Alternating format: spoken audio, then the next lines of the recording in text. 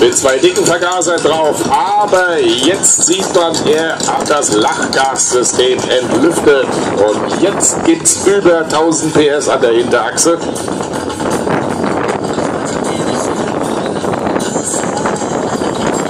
Das ist ein Spezial-Rohrrahmen-Chassis, Kunststoffkarosserie oben drüber, alles flach und nur noch für die Viertelmeile gebaut. Das könnte jetzt eine flache 9 werden.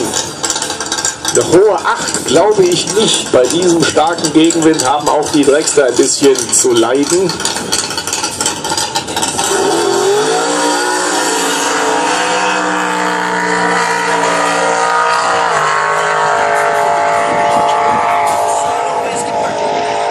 Ja, eine flache 9 ist es geworden. 9,2 Sekunden und fast